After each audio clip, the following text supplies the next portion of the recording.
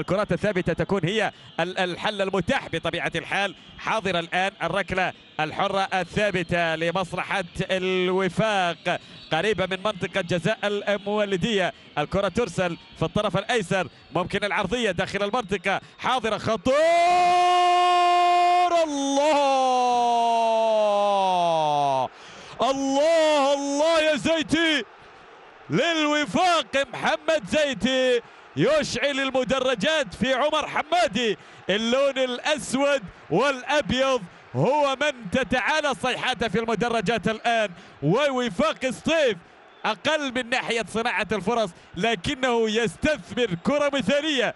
كرة ثابتة كانت حاضرة. إذا ما سجلت من متحركة فالكرات الثابتة إذا استثمرت قاتلة تأتي لوفاق سطيف نفذت بشكل جميل. لعبت زاحفة.